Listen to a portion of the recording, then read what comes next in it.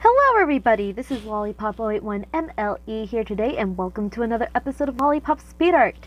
Now, this time we are doing a famous, famous uh, queen, aka Empress.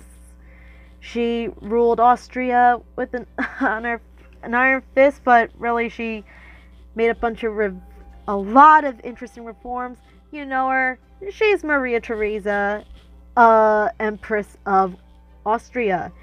Now, she ruled mostly as co monarch, and again, she was part of the Habsburg uh, line, but again, her parents were not closely related because, you know, the Habsburgs are infamous for um, intermarriages, and that's not pleasant. But again, Maria Theresa was um, the uh, mother of Marie Antoinette as well as 15 other children, including Emperors Joseph and Leopold.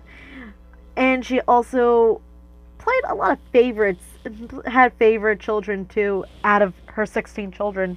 Yeah, she did have a good relationship with Marie Antoinette or Marie Antonia. Her favorite child was Maria Christina, whom she like she allowed her to get married, have a love match, and basically took care of her well.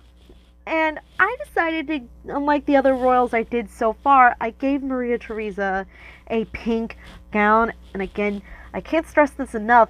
Doing the Rococo era is nuts. And basically working on the gown reminded me of Anneliese's dress from Barbie as the Princess and the Pauper.